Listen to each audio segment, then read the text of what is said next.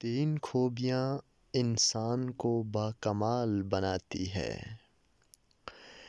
ठंडा दिमाग मीठी ज़बान और नरम दिल।